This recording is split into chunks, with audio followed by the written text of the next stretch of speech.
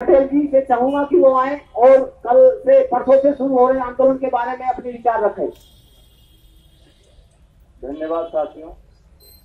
सबसे पहले तो आप सबका बहुत बहुत धन्यवाद कि आप लोग हम सभी के साथ, क्योंकि हम लोग कहीं अलग के नहीं है तो कंधे से कंधा मिला के हम लोग ये मुहिम जो चला रहे हैं, इसके लिए आप लोग साथ में आ रहे हैं। ये बहुत ही एक सराहनीय कदम है। इसके लिए आप सभी को बहुत बहुत धन्यवाद। साथियों, हमारे बीच में कई बार आशा और निराशा का खेल चल रहा है। हम लोग, बहुत लोग आपस में ये कह रहे हैं कि चलो, अब तो बहुत कुछ हो गया कुछ इसमें गुंजाइश नहीं है। लेकिन गुंजाइश तो अंतिम दम तक है। हम लोग जहाँ भी अभी भी बहुत लोगों से, बहुत मंत्री और इनसे मुलाकात कर रहे हैं, उनका ये कहना है कि, देखो, कोई हमें अभय नहीं दे रहा कि जाइए, आप निश्चिंत हो जाइए। लेकिन ये उन्होंने ज़रूर कहा है कि आप आप अपना कर्म करिए, और ऐसा नहीं है कि इसमें संभावना नहीं है। जैसे अभी हम लोग, अब हम तीनों संगठन एक साथ आज मिलके जो भी पहले से भी काम कर रहे हैं, अब उन लीगल को भी हम लोगों ने प्रयास किया है और उन्होंने ये भी कहा है कि ठीक है, आप लोग अपने स्तर पे जो कंपनी के स्तर पे, क्योंकि ये जो तरीके होते हैं, ये माध्यम है हम सबको और क्लोज लाने के लिए और हमारे अंदर एक प्रेरणा जगाने के लिए। तो इस माध्यम से हम लोग जो अभी कार्यक्रम जैसे सोमवार से अनिश्चितकालीन धरना के लिए हमारे साथी लोग एक प्रस्ताव में आया, हम लोग इसको शुरुआत कर रहे हैं। और बाद में और भी हमारे बहुत से जो हम लोगों ने बीच बीच में मुलाकात हुई है तो उन लोगों ने आश्वासन दिया कि आप लोग प्रयास करिए, हम आपके तरफ़ से पूरे तरीके से, जो भी लीगल तरीका है, जो भी राजनीतिक सपोर्ट है, सब दे रहे हैं।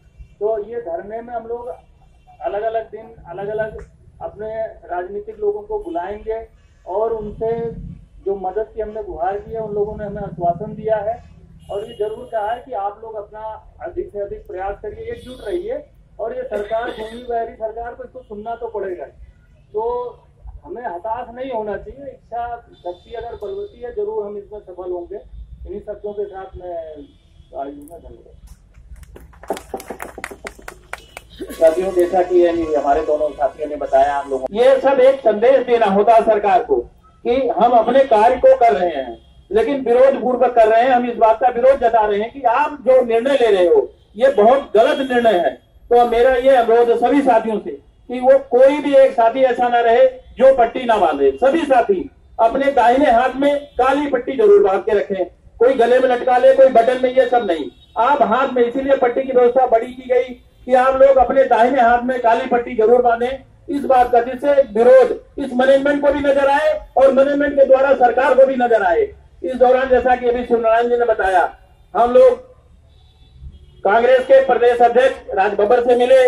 इस दौरान हमारी आनंद शर्मा के यहाँ भी मुलाकात हुई, उनसे नहीं मुलाकात हो पाई, उनके पीएस से मुलाकात हुई, उनसे भी वार्ता हुई। हमारे यहाँ जो विधायक इस क्षेत्र के, संसदीय क्षेत्र के विधायक हैं, अजीत पाल त्यागी, उनसे भी मुलाकात हुई, नंदकिशोर गुजर उनसे भी मुलाकात हुई। सुनील शर्मा से भी मुलाकात हुई, अतुल गर्ग से भी मुलाकात हुई। इन लोगों को भी बाध्य किया गया। कल इन लोगों की मुलाकात। माननीय मुख्यमंत्री से इन लोगों ने मुलाकात किया। शाम को यह संदेश आया कि आज हम लोगों ने अपनी बात, गाजियाबाद की बात मुख्यमंत्री के सामने रखा है और उसमें मुख्यमंत्री गंभीर है। ऐसा इनके द्वारा बताया गया है। ये तो हमें तब पता लगेगा जब कोई निर्णय आएगा। और कांग्रेस के प्रदेश अध्यक्ष ने हमें यह आश्वासन दिया है कि हम आपकी लड़ाई में तन से, मन से धन से हर तरह में हम आपके साथ हैं, आपकी लड़ाई लड़ेंगे। उनके यहाँ जो भी राज्यसभा सदस्य हैं, उन लोगों, उनसे भी बात किया है। उन्होंने ये आश्वासन दिया है कि हम गुलाम नबी आज़ादी से जो राज्यसभा में सदन के नेता हैं उप जो है, विपक्ष के, उनसे भी वो वार्ता कराएँगे। और चाहे इन तीनों में से कोई भी इस बात को, सीएल के निजीकरण को, उनको भी अचंभा सा लगा कि अगर कंपनी प्रॉफिट में है, हम लोगों ने बताया कि उनको पूरा डाटा दिया, सारी डिटेल दिया उनको कि हम पाँच सालों में हमने क्या किया, कितना कमाया और टैक्स के रूप में इस सरकार को कितना पैसा दिया और जो स्ट्रेटेजिक आइटम जो रक्षा क्षेत्र के आइटम दूसरे कोई जब प्रमाण परीक्षण हुआ था, सबने हाथ खड़े कर दिए थे। उस टाइम सीएल खड़ी हुई कि नहीं, हम करके देंगे।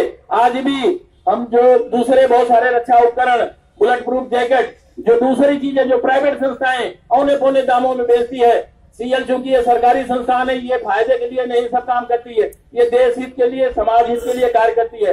तो हम लोगों ने इन सभी नेताओं को ये अवगत करा दिया गया, स्थानीय नेताओं को बता दिया गया कि यहाँ की जनता ने अगर आपको विधायक बनाया, सांसद बनाया तो यहाँ के इन्हीं जनता ने आपको बनाया है और यही जनता आपको नीचे उठा, फेंकेगी और ये जनता एहसास करा देगी कि आप राज करने के लायक नहीं हो।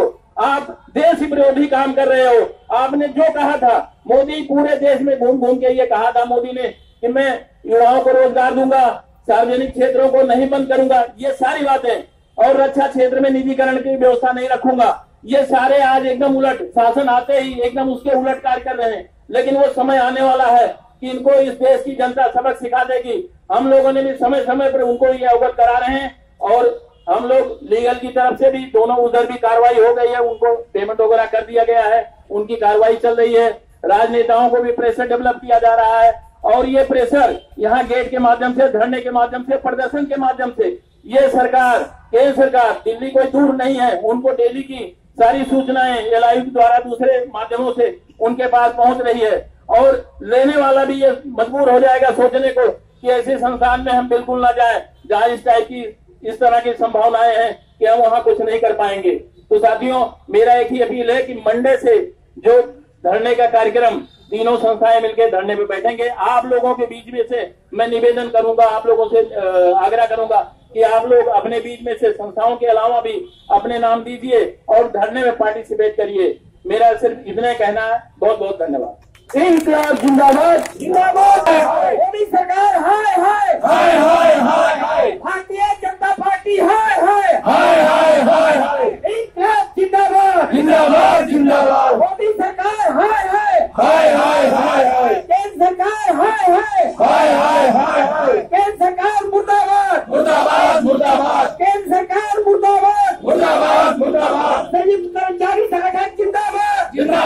जिंदाबाद। संयुक्त कर्मचारी संगठन जिंदाबाद। जिंदाबाद जिंदाबाद। इनकलाब जिंदाबाद। जिंदाबाद जिंदाबाद। मजदूर एकता जिंदाबाद। जिंदाबाद जिंदाबाद। धन्यवाद साथियों।